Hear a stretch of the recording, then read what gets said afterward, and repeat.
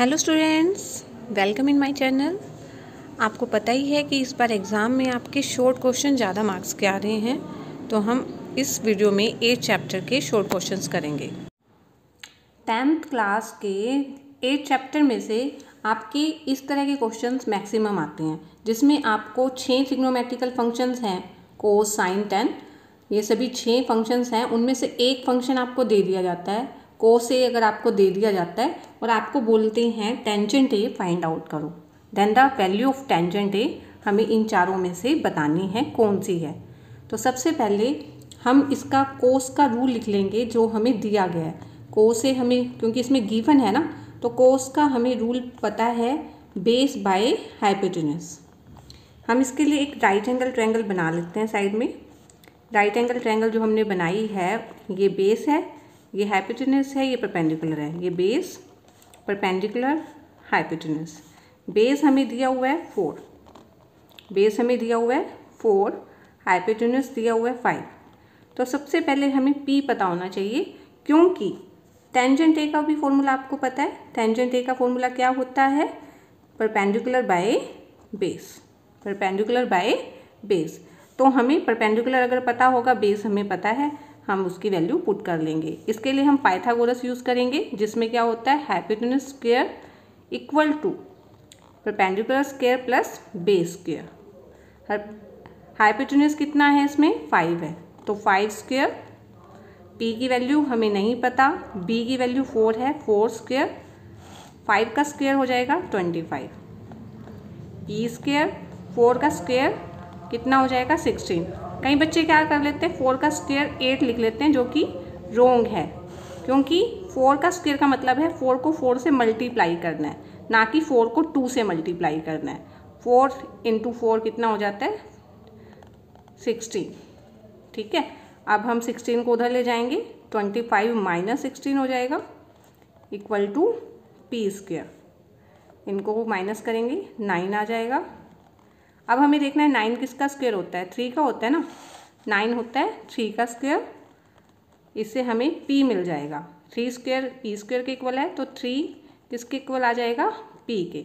तो पी कितना आ गया है? थ्री। अब पी की वैल्यू हम इसमें अगर फिल कर लें, थ्री और बेस हमें पता ही था बेस कितना है? फोर थ्री बाई फोर यानी option number B is the correct answer तो मैं आपको रिवीजन के लिए और क्वेश्चंस दे देती हूँ। और आपने मुझे कमेंट सेक्शन में उनके आंसर क्वेश्चन नंबर टू जो मैंने रखा है सेम रखा है क्वेश्चन नंबर वन की तरह हमें sine theta four by five दिया है टेंशन थीटा फाइंड आउट करना है। आपको तीन ऑप्शंस दिए गए हैं तो आपने इस क्वेश्चन की हेल्प से ये क्वेश्चन निकालना है। These question are very very important ये दोनों सम्स बहुत इंपॉर्टेंट नंबर थ्री ये डिफरेंट स्टाइल का क्वेश्चन है। Tension sixty four by cot twenty six तो इसमें आपकी आइडेंटिटी यूज़ होती है, जो आपको एक पता है tangent ninety minus theta equal to क्या होता है? को थीटा ठीक है? तो हम ये यूज़ करेंगे। यानी अगर हम टेंजेंट नाइन्टी माइनस सिक्सटी लिखेंगे तो क्या बनता है वो? वो बन जाता है कोट्स नाइन्टी माइनस जो भी एंगल है तो सिक्सटी फोर डिग्री वो बन जाता है। दिस दैट्स मीन हम इस तरह से इसको कन्वर्ट कर सकते हैं इस फॉर्मूले को।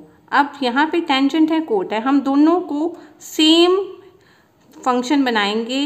या तो आप टेंजेंट को कोट बना लीजिए या कोट को टेंजेंट बना लीजिए। ठीक है? तो हम क्या करेंगे? जो ऊपर दिया है, उसको ही हम चेंज करते हैं। नीचे वाले से। तो इसको हमने अगर चेंज करना है ना तो क्या बनेगा? अगर टेंजन को कोड बनाना है तो कोट 90 माइनस सिक्सटी बन जाता है वो। ठीक है? क्योंकि टेंजेंट जो चेंज होता है कोट में चेंज होता है। टेंजेंट किसमें चेंज होता है? कोट में। और 90 माइनस ये वाला एंगल आ जाता है। इस तरह से हम ये फॉर्मूला यूज़ करते हैं। कोट 26 डिग्री अब हम अगर 90 में से 64 माइनस कर दें तो 26 आएगा। और नीचे भी कोड 26 है। ये आ जाएगा। दोनों आपस में कैंसिल हो जाएँगे और वन आंसर आ जाएगा। आपको इसकी एक ट्रिक भी बता देती हूँ। अगर 64 और 26 इस तरह से आपको एंगल्स दिए गए हैं, अगर इन दोनों का ऐड करने पर 64 26 को अगर हम ऐड करते हैं तो कितना आता है? 90 आ रहा है ना? अगर ये 90 आ रहा है तो हमारी ये 90 वाली आइडेंटिटी लगेगी। ठीक है? और आपको ये भी पता है कि टेंजेंट कोट में चेंज होता है कोट टेंजेंट में चेंज होता है। जब ये आइडेंटिटी रखती है टेंजेंट जो है कोट में कन्वर्ट होता है और कोट टेंजेंट में। तो इस तरह के क्वेश्चन का आंसर हमेशा वन आता है, अगर वो बाय में है। अगर ये ही क्वेश्चन माइनस में हो, यानी tangent sixty four minus cot twenty six अगर ये दोनों माइनस में हो तो वो ज़ीरो आंसर आ जाता है। क्योंकि हमें शॉर्ट जो क्वेश्चन है एमसीक्यू जल्दी करने होते हैं तो हम ये ट्रिक अपना सकते हैं। इन दोनों को जब जोड़ेंगे तो 90 बनता है और टेंजेंट क्योंकि कोड में चेंज होता है, इसलिए अगर वो सब्ट्रैक्शन में है तो ज़ीरो और अगर डिवाइड में है तो वन आंसर आता है। देखो कैसे टेंजेंट को हम फिर से कोट में चेंज कर रहे हैं और कोट में चेंज करेंगे तो कोट 90 माइनस यही एंगल आ जाएगा माइनस कोट 26 ठीक है? ये बन जाएगा कोट 90 में से 20 64 माइनस करने पर 26 आता है और दोनों को सब्ट्रैक्ट करते हैं तो ज़ीरो आता है। ठीक है? सोल्व हमारा एक क्वेश्चन नंबर फोर मान लेंगे इसको। ये एक डिफरेंट क्वेश्चन बन जाएगा। इसमें टेंशन कोड की जगह अगर sine sixty four minus cos twenty six होता है तो भी तो सेम ही होता ना? क्योंकि उनकी आइडेंटिटी भी सेम ही है। क्या होती है?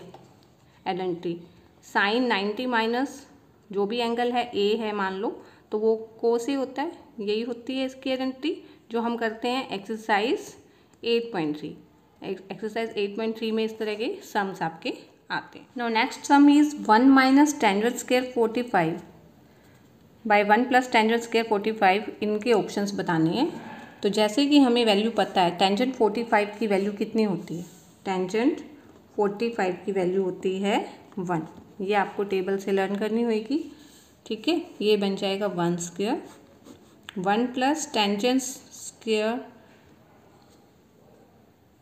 अब ये बन जाएगा one minus one. One plus one. One square क्योंकि वन होता है।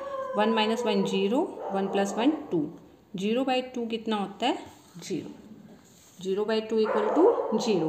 अब हमें ऑप्शन ज़ीरो भी दिया हुआ है तो D option is the correct option question number two is also same as question number one तो सभी स्टूडेंट्स उसको सॉल्व कीजिए और मुझे कमेंट सेक्शन में इसका आंसर भेजिए।